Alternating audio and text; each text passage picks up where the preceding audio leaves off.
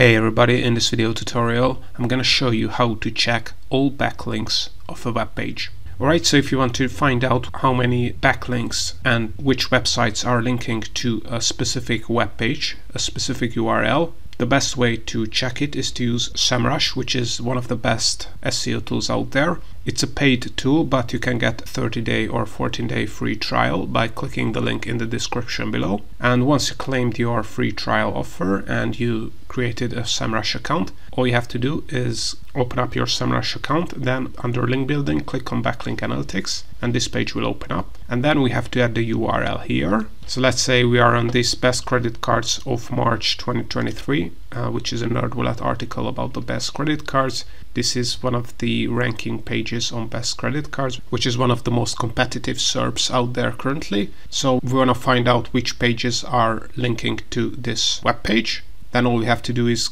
copy the URL of this web page, then paste the URL here in this field, then click on Analyze. And now we're gonna be able to analyze the backlink profile of this specific URL.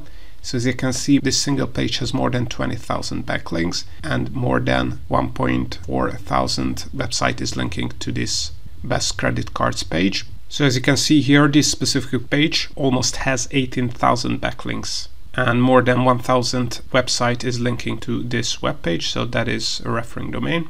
If you want to get more information which pages are linking to this web page we can click on backlinks here and we can see which are the most authoritative pages that are linking to this uh, web page on best credit cards then if you are a competitor to nerdwallet.com and you also have a page on the best credit cards you can try to contact or outreach and to any of these websites and try to also get a link from them as well.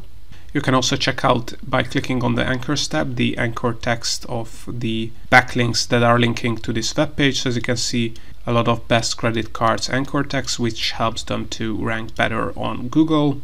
And if we go back, you can also export out this report as a PDF or export a full list of their existing backlinks in the backlinks tab here and then you can analyze the backlinks further in a Google Sheet or in an um, Excel sheet on your computer. As you can see, you will also get other information about the backlinks, like what kind of backlinks are linking to this page, so text backlink, image backlink, or iframe backlinks, and what are their link attributes. So are there no follow backlinks, do follow backlinks, sponsor backlinks, and so on and so forth. So you know this is how to check which pages are linking to a specific URL or page of a website. And if you want to learn more about how to use SEMrush to get more backlinks to your website, check out my other tutorials on my channel. And as I mentioned, you can get a free trial offer on SEMrush and try out SEMrush and all of their amazing tools for absolutely free.